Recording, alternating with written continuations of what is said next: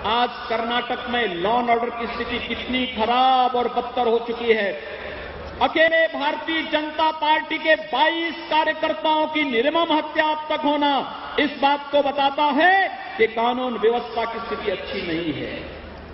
यह आपराधिक प्रवृत्ति और लॉ एंड ऑर्डर की स्थिति तब पैदा होती है जब सत्ता का संरक्षण और सामाजिक और अराष्ट्रीय तत्वों को मिलना प्रारंभ होता है।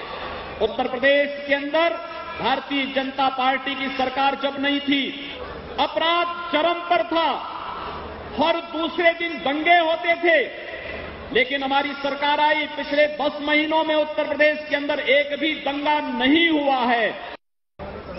चुनाव आते हैं, आपकी एकता को देखती है तो कांग्रेस आपको जाति के नाम पर बांटना चाहती है।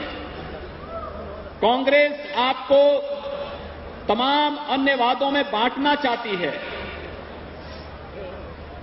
कांग्रेस इस देश के लिए आज एक बोझा बन चुकी है, एक समस्या बन चुकी है। अपने भ्रष्ट कारनामों के कारण, अपने भ्रष्ट आचरण के कारण, भगवान राम जब माता सीता का अपहरण हो जाता है भाइयों बहनों वे जंगलों में भटक रहे होते हैं। कोई आस नहीं होती है, कोई ठिकाना नहीं मिलता है।